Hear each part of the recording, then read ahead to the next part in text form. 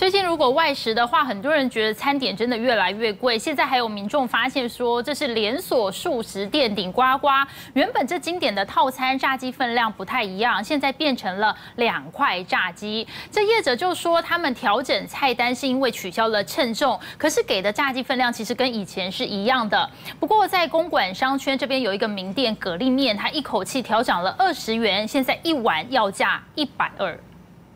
刚炸好的炸鸡口感正酥脆，扒开外皮，肉汁都流了出来，好 juicy。不过连锁素食炸鸡的数量好像跟以前不太一样。一号餐的话，现在现在两块腿排。九月一号我们改过菜单，它原味鸡块现在是变大块的，胸排或腿排的。将原本的称重改成直接给两块炸鸡。不过其实不仅改了菜单，价格也跟着变动。像是原本的经典炸鸡餐，就从一百五十五元调涨为一百六十元。的那种用称重，现在就没有。它现在原味鸡块就是一个五十五在对此，顶呱呱表示，公司经营策略下调整菜单，取消称重炸鸡，改以较大块的肉。但消费者实际吃到的分量没变少，除了连锁炸鸡店长，就连一般小店也撑不下去。满满蛤蜊铺在干面上，用料超澎湃，吸附特制酱汁的干面尝起来最够味。再配上一份卤制入味、满满胶质的 Q 弹猪耳朵，但现在想吃得多掏点钱。蛤蜊面从一百元涨到一百二十元，猪耳朵也贵了十块，涨幅皆达两成。对此，业者表示，开店两年多都没调涨过，光是近期食材成本平均上涨一成，不调涨真的撑不下去。什么都涨吧。什么肉类啊，什么菜都涨好多。哦这个虾米啊，我记得以前一斤三百多，好像我有段时间没买。那天问五百多，我吓了一跳。哦，我觉得物价怎么会涨得这么可怕？小吃的话，大概都是差不多五块到十块吧。然后如果在比较高一点的价位的话。它就会更高，对，但大家都是差不，嗯，都应该至少都差不多一成吧。民生物资通通涨，就连自行采买食材也可以感受到涨价压力，未来餐费恐怕只会越来越高。东森财经新闻吴博威、谢伟仪台北报道。明天是霜降，要吃什么补身体呢？时间交给佩瑜。好，没有错，明天就是霜降了，而且我们这也感受到说，这天气实在是越来越冷了，冬天好像真的要来了。尤其呢，明天十月二十三号霜降到了之后，这气温恐怕是会再继续的往下降了。其实啊，这个霜降呢，就是我们二十四节气当中的第十八个节气，也是秋天里面的最后一个节气，所以代表说冬天要到了，这天气要变冷，还有可能会开始降霜了。所以呢，其实在这个古时候就有一个闽南语俗谚是说呢，吉尼波。烫烫不如波松港，意思就是说呢，其实，在霜降这一天呢，就要把这个身子给补好，才有办法应付接下来要到的寒冬。所以你看呢，大家才会说这个秋补其实比冬补更好，把身体底子打好的意思。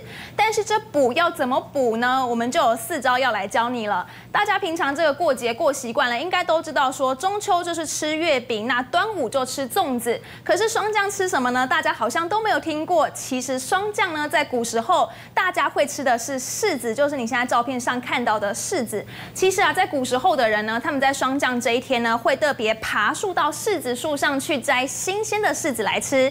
说是呢，只要在霜降这一天，如果有吃到柿子的话呢，接下来冬天呢，这个嘴唇就比较不会干裂流血，而且呢，也比较不怕冷，所以呢，他们才会在这一天吃柿子。那照现在啊，这个现在的营养师来看，其实也是多多少少有根据的，因为说呢，其实这个冬天一到啊，气温变得比较干燥，很有可能就是会喉咙痛啊，又或者是说皮肤、嘴唇比较干燥，那就要吃一些比较清热的食物，像是刚刚提到的柿子啊，还有苹果、梨子，甚至是莲藕，都算是这一类的食物。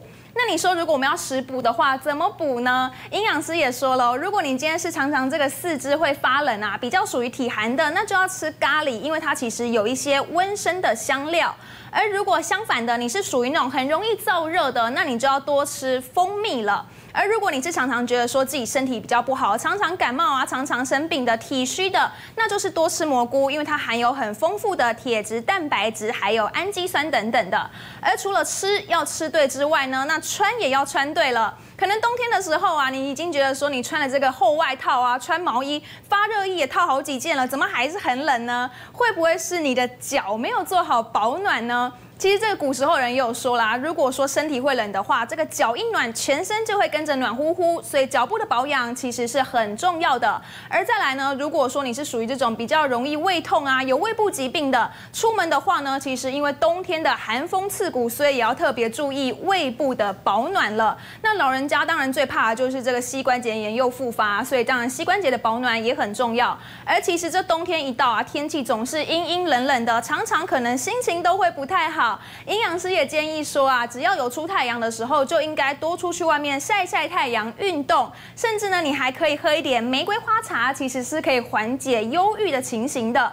不过呢，千万要注意的就是不能够说因为天气冷就直接躲在被窝里倒头大睡，睡了十几个小时。这样子的话呢，很有可能不仅没有补到身体，而且还可能越补越虚。而不过呢，其实距离这个霜降啊，十月二十三号十二点五十二分都还有好长一段时间。但是已经很多人哦，趁着今天礼拜五下班的时候呢，就到这个羊肉炉还有姜母鸭店呢，已经开始要排队等待进补了。羊肉枸杞、当归、黄芪熬制汤头，整整六小时，逼出药材精华，香味瞬间扑鼻。鲜红羊肉片下锅涮个几秒，时间点很重要。老板娘传授配薄，八分熟最好吃。它是属于山羊，本土羊，然后用六个月到一八个月之间的肉，会没有羊骚味。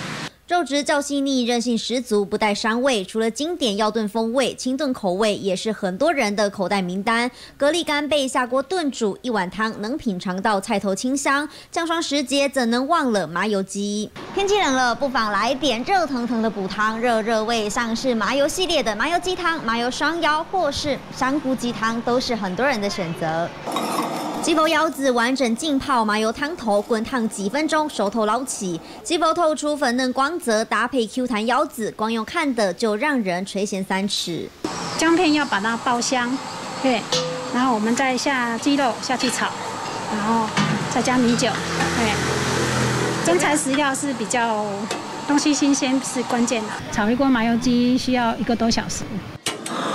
开在中山区小巷弄内的麻油鸡店，别看它规模不小，老板娘可是经验老道，做这行已经十几年了。因为自己喜欢吃，常常动手研发改良菜色，周边邻居都是常客，有人甚至每周来报道。一个礼拜至少会有一次吧，因为我自己本身就很喜欢喝养生鸡汤，老板娘就是用料都不手软的这样子，所以每次都可以吃肉吃的很过瘾这样子。然后再来就是它的鸡汤也是完全不油腻，像现在这种天气，然后吃起来很温暖。然后它的猪肝就是不老，不老，然后嚼起来就是很很粉嫩、很粉嫩的感觉。降霜时节，温补料理养养生，温暖民众的胃。东森财经新闻黄晨玉杰特别报道。好，现在通膨的问题还蛮严重的，所以很多民众其实就把资产是转向了不动产，这是让房价持续在飙高。因为双北的地区已经连七季上涨了，有人甚至说竹科更夸张，从化区那边竟然一年就涨了十万。通膨巨兽席卷全球，刺激民众买房置产，也间接让房价不断攀升。数据显示，北台湾各县市第三季预售屋价格突破天花板，平均年涨幅来到百分之六点二，创下二零一八年以来的新高纪录。以台北市为例，每平要价九十三点七万元。台北市房价已经连续七季上涨，涨幅百分之一点一，创下历史新高。其中以大同、南港、内湖等蛋白区房价涨势较为显著。新北每平四十二点五万元，季涨百分之一点九，也是连七季走高。林口淡水、莺歌房价已经突破天际，新竹每平二十四点七万元，竹科从化区甚至能用一年涨十万来形容。那主要原因呢，有可能是因为低利跟这个资金宽松的一个关系，市场的资金本来就比较泛滥一点，再加上说今年呐，国际上通膨的疑虑是在升高，再加上这种抗通膨的这个自产族买盘的出笼，所以今年的房价涨幅还有买气，确实比去年还要来的增加，应该是可以延续到 Q 四。甚至到明年，只不过物价飙涨之下，建材费用也变贵了。北市都跟学会理事长蔡汉林指出，原本台北市房屋造价一平大约十五万元，郊区及中南部可能六到八万。不过现在台北市造价已经涨到一平二十到三十万元，中南部也要超过十万元。可能住家附近都有明显的上涨，平可能差了五五六万有。就这么点大要这么贵这样。想说以前好像之前家里自己买房子的时候。可能五六百就可以买到透天了，可是现在可能要买到透天，可能都要一千五、一千八以上才有可能。建筑成本不断走高，让房价也难回头。在大通膨时代下，不少民众怕钱被通膨巨兽吃掉，也转进不动产市场抗通膨。东森财新闻黄明玉台报道。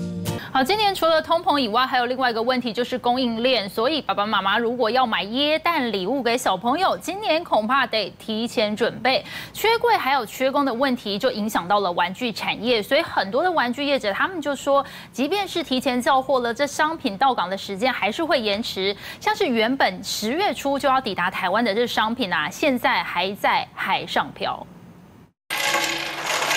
这是小零件组装到橡皮条，再输到保特瓶上，出现了手脚跟眼睛，顿时像是有了生命。还有各式彩色小积木拼起来就成了一个缤纷陀螺。但随着耶诞节逼近，也出现了缺货问题。缺柜的状况之下的话，其实有时候我们就很难抓到说是那个到货的时间可能会是什么时候。这个东西其实是现在每一个同业心里的痛。那平台 PM，假设我们一一一一，或者是到了圣诞节的时候，他们也许现在就开始提前要做。做这个东西的，可是有些货，我们现在的确是没有货。除了缺柜、缺工，现在又遇上缺电，让产品从生产端到出货到关都卡卡，甚至玩具好不容易送来台湾，又得再经过层层检验把关，又拉长上架时间。加上同样深受缺料影响，让业者蜡烛两头烧。呃，原物料这边开始到我们这一端已经涨了大概三十到四十 percent，对，所以到 N user 这边，我相信是会涨更多的。随着耶诞节将近，不少民众干脆提前买玩具，免得越晚选择越少。那大都有。玩具店里少不了机器人、恐龙模型，还有全球最红的日系小汽车品牌，都是店内热销商品。像这个火柴盒小汽车，编号总共到一百二十号，但有三分之一是还在缺货的状况，还在运来台湾的途中。一打开任意格抽屉，都会看到部分车款都已经没有库存，而像是大小朋友都爱的乐高、耶诞节系列商品，有部分已经到货。虽然经销商数量还算充足，但下游的零售商恐怕得面临货量不足压力。往年来来讲啊，他们要多少就给多少，今年就会有一种这个每一家都比往年啊稍微做一个分配，那这样他们就会觉得啊受限量一样。下半年零售旺季，随着耶诞节逼近，恐怕连玩具也将响起缺货警铃。东森财经新闻吴博威、谢伟仪台北报道。以前每年的冬天，很多台湾人都喜欢去日本赏雪啊，吃美食。最近换日币倒是可以超前部署，因为近期日元的汇价是直直落，跟一月的高点比起来，等于说现在买一张东京迪士尼的门票的话，可以省下三百到四百元。专家甚至透露了一些小 paper。